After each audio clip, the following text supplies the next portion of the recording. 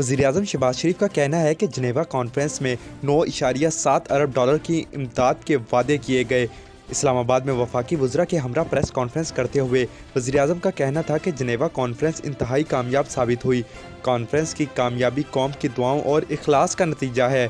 इनका कहना था कि ये कामयाबी टीम वर्क का नतीजा है। सलाम मुतासरीन की दोबारा आबादकारी तक कोशिशें जारी रखेंगे। बॉल अब हमारे कोर्ट में है।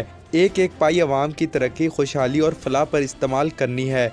शहबाज शरीफ का कहना था कि जनेवा कॉन्फ्रेंस के दौरान मजमू तौर पर नौ इशारिया सात अरब डॉलर की इमदाद के वादे किए गए। सबसे बड़ी इमदाद का ऐलान इस्लामी तरक्याती बैंक की जानब से चार इशारिया दो अरब डॉलर का किया गया। इन्होंने बताया कि वर्ल्ड बैंक ने दो अरब डॉलर और एशियन इंफ्रास्ट्रक्चर डेवलपमेंट बैंक ने एक अरब डॉलर का ऐलान किया। एडीबी ने 500 मिलियन डॉलर का ऐलान किया। इटली ने 23 मिलियन यूरो और जापान ने सतर मिलियन डॉलर का ऐलान किया। कतर ने 25 मिलियन डॉलर और सऊदी अरब ने एक अरब डॉलर का ऐलान किया। शबाज शरीफ का कहना है कि सऊदी अरब ने हर मुश्किल में पाकिस्तान का साथ दिया, जिस पर इनके शुक्रगुजार हैं। अमेरिका की जानब से भी 100 मिलियन डॉलर इमदाद का ऐलान किया गया। वज़ीर खारजा बिलावल भुट्टो का इस मौका पर कहना था कि वज़ीर अजम साहब को मुबारक हो इनकी खारजा पॉलिसी कामयाब हो गई है। हम जो गुज्त आठ माह से मेहनत और कोशिशें कर रहे थे, वो अब रंग ला रही हैं। हमारी कामयाबी है कि हमने टारगेट से ज़्यादा रकम जमा की। मशरक से मगरब तक पूरी दुनिया ने हमारी मदद की।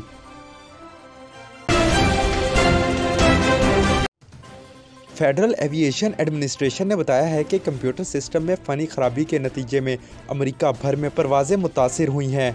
एफ़ ए की जानब से जारी बयान में बताया गया है कि notice to air mission system fail होने की वजह से अमेरिका भर में डोमेस्टिक फ़जाई ऑपरेशन बुरी तरह मुतासर हुआ है। अलबत् बैन अवी परवाज़ों के हवाले से सूरतयाल वाजिया नहीं। बयान में कहा गया है कि फ़नी खराबी दूर करने के लिए काम किया जा रहा है और जल्द परवाज़ों का सिलसिला बहाल हो जाएगा। टू एयर मिशन सिस्टम पायलटों को मुख्तलिफ़ खतरा से आगाह करता है और मुख्तलिफ़ तकनीकी तफसीत फराहम करता है। अभी ये वाजिया नहीं कि इस सिस्टम में खराबी क्यों हुई और इसकी शिद्दत क्या है। दूसरी जानब notice to air mission system में फ़नी खराबी से अमरीकी सदर जो बाइडन को आगाह कर दिया गया है। अमरीकी सदर ने एफ़ ए के हुक्म को कंप्यूटर में फ़नी खराबी की तहकीकात का हुक्म दिया है। व्हाइट हाउस की प्रेस सेक्रेटरी ने एक ट्वीट में बताया है कि अभी साइबर हमले के कोई शवाहिद नहीं मिले, मगर सदर जो बाइडन ने महकमा ट्रांसपोर्टेशन को इस मामले की मुकम्मल तहकीकात का हुक्म दिया है, जबकि एफए को मुसलसल अपडेट्स फराम करने की हिदायत की गई है।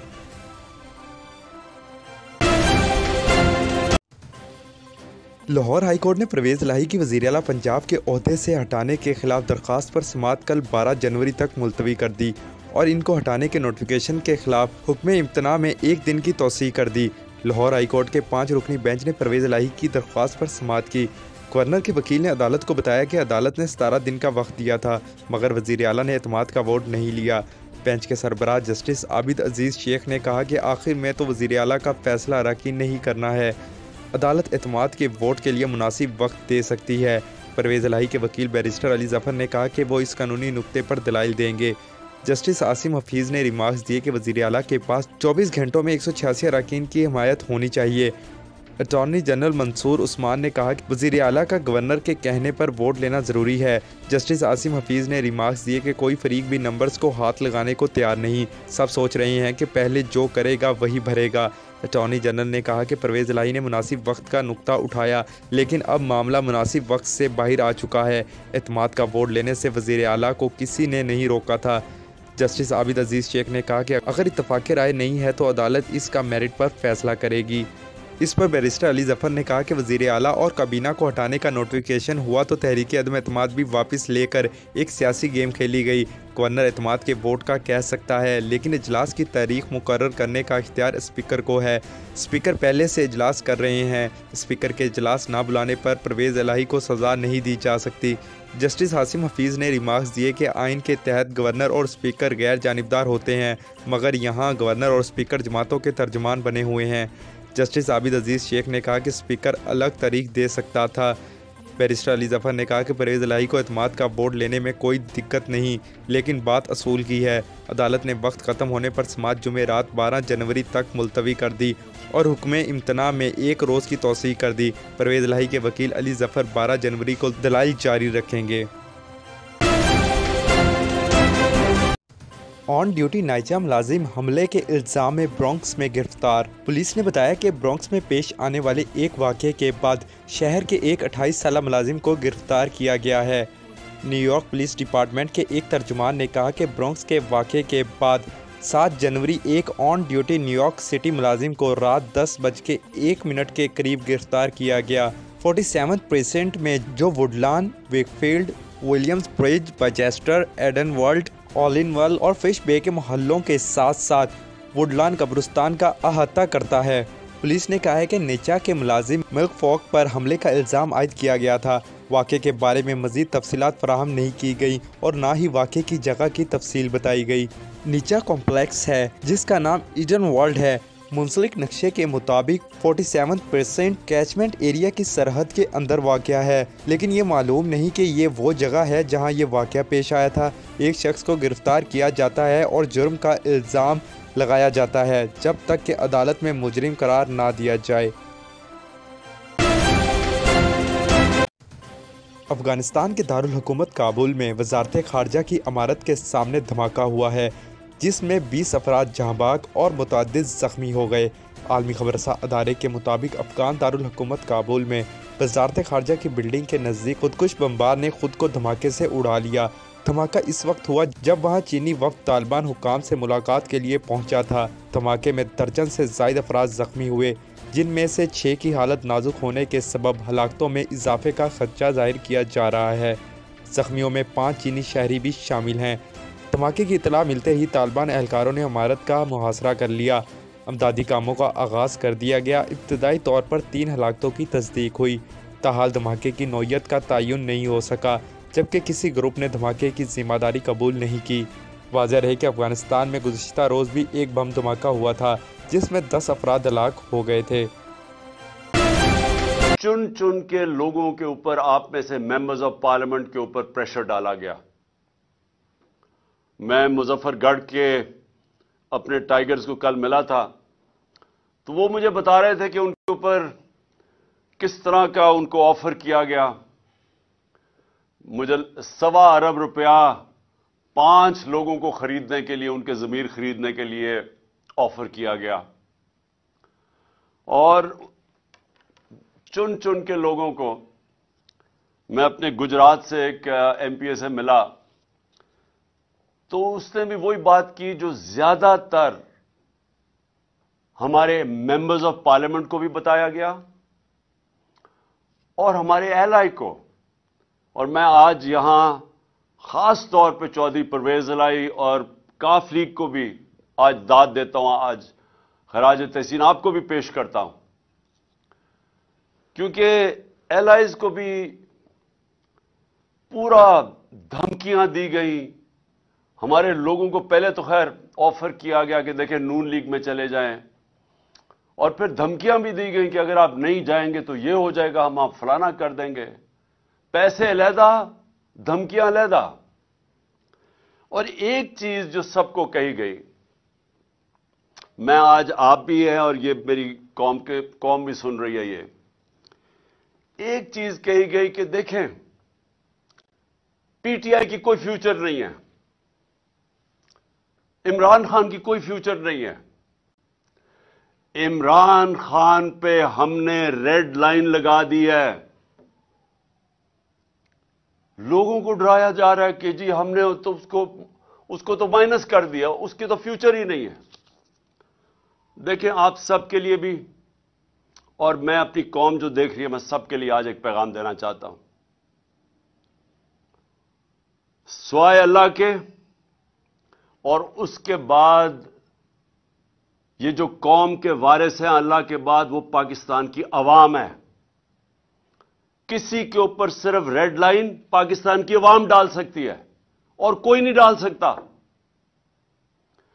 और जो भी ये समझता है, जिसमें भी ये तकबर है, ये जो रौनत है, ये तकबर कि जी मैं हमने रेड लाइन डाल दी ना उनके अंदर अकल है। सिर्फ़ बेवकूफ़ इंसान ऐसी बात कर सकते हैं। ना उनको सियासत की समझ है, ना उन्होंने तारीख पढ़ी हुई है, ना उन्होंने इस मुल्क की तारीफ़ पढ़ी हुई है। जिसने भी कोई थोड़ी बहुत, थोड़ा पढ़ा लिखा आदमी जिसने तारीख पढ़ी हो, वो कितनी, कभी भी इतनी अहमकाना बात नहीं कर सकता। हमेशा एक मुल्क के अंदर अवाम फैसला करती है किसके ऊपर रेड लाइन डाली जाती और नहीं डाली जाती। आप, माशाल्लाह, और मैं अल्लाह का हाथ उठा उठा के शुक्र अदा करता हूँ कि अल्लाह ने आज आपकी जमात, उसको आज वो मुकाम दिया है। सत्तर साल मेरी उम्र है। मैं आपको पूरे यकीन और वसूख से कह सकता हूँ कि पाकिस्तान की तारीख में कभी किसी जमात को वो मकबूलियत नहीं मिली जो माशाल्लाह अल्लाह ने आपकी जमात को दी है।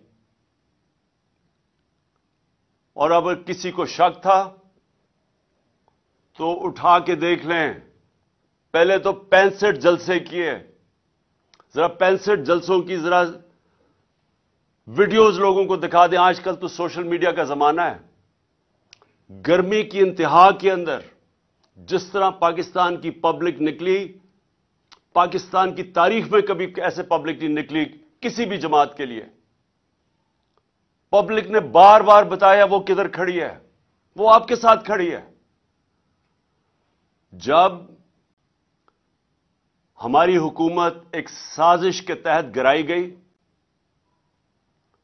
9 अप्रैल को जब हम मैं अपनी डायरी लेके घर पहुँचा तो जो भी ये रेड लाइन ड्रॉ करने वाले समझ रहे हैं कि रेड लाइन ड्रॉ की, सबको सबको शौक मिला कि जब 10 अप्रैल को पाकिस्तान की पब्लिक सड़कों के ऊपर आ गई, इस मुल्क की तारीख में कभी भी पाकिस्तान की पब्लिक एक एक हुकूमत जिसको हटाया गया हो आज तक पाकिस्तान की पब्लिक ने मिठाइयाँ तो बांटी हैं, कभी उसके, उस हुकूमत के लिए लाखों लोग नहीं निकले। और उसके बाद इलेक्शंस हुए। 16 जुलाई को इलेक्शंस हुए। एक अजीब सिचुएशन था कि हमजा को यहाँ बैठा दिया गया। सारी उसके साथ पुलिस इंतजामिया एस्टेब्लिशमेंट मदद कर रही है उसकी। हर चीज़ इलेक्शन कमीशन पूरी मदद कर रही है। यह भी पंजाब की तारीख में कभी नहीं हुआ कि स्वीप की तहरीक इंसाफ ने बाय इलेक्शन स्वीप किए। और वो क्यों किए? क्योंकि पाकिस्तानी कौम निकल आई। कभी इस तरह कौम नहीं निकली। ना किसी ने बरादरी देखी ना किसी ने रिश्तेदारियाँ देखी, लोग नज़रिए के लिए निकले। और आप सब जानते हैं, क्योंकि आप सबने शिरकत की, आपने सब उस बाय इलेक्शंस में शिरकत की और आपने अपनी आँखों से देखा कि किस तरह पब्लिक निकली। और पब्लिक ने वाजे बता दिया कि हम किधर खड़े हैं। फिर 16 अक्टूबर को इलेक्शन हुआ। 16 अक्टूबर को चुन के इलेक्शन कमीशन और नवाज़ शरीफ ने चुन के वो हलके, उन हलकों के अंदर बाय इलेक्शन करवाई, जो हमारे सबसे कमज़ोर थे, जिनमें पीडीएम की इन सारी जमातों की दुगनी वोट्स थी हमारी 2018 इलेक्शन में। चुन के उन्होंने इलेक्शन करवाए, और वो आप वज़ीर अला पंजाब परवेज लाही का कुछ देर बाद पंजाब असम्बली से एतमाद का वोट लेने का इम्कान। Deputy speaker Punjab assembly Wasiq Qayyum ने अपने ट्वीट में कहा कि नंबर्स पूरे हैं। कुछ देर में एतमाद का वोट लेने वाले हैं। दूसरी जानी पीटीआई रहनुमा फवाद चौधरी ने अपने ट्वीट में कहा है कि अल्हम्दुलिल्लाह, एक सौ सतासी का नंबर मुकम्मल है। पीटीआई रहनुमा फयाजुल हसन चौहान ने बताया है कि वज़ीर अला पंजाब परवेज लाही असम्बली पहुँच गए हैं। आज एतमाद का वोट लेंगे। इन्होंने कहा कि शरारती लोगों ने पंजाब असम्बली का अमन गारत किया हुआ है। इस वक्त हमारे पास एक सौ नंबर्स हैं। मौजूदा सूरत हाल पर गुफ्तु करते हुए मुस्लिम लीग नून के रहनमा अता तार ने कहा है कि राना सनाउल्ला की क्यादत में हमारी पूरी टीम पंजाब असम्बली में मौजूद है। इन्होंने कहा है कि परवेज इलाही एतमाद का वोट लेने की पोजीशन में नहीं है। इनके पास एक सौ छियासी अरकान की तादाद मौजूद नहीं है। इनका कहना था कि अगर ये गलत तरीके से अरकान की गिनती पूरी करेंगे तो अलग बात है। जब अरकान असम्बली में मौजूद ही नहीं तो इनके नंबर्स पूरे नहीं होने। न्यूयॉर्क में बर्फानी तूफ़ान। मुजस्मा आज़ादी यखबस्ता हवाओं का तन्हा सामना करने पर मजबूर। सयाह साथ छोड़ गए।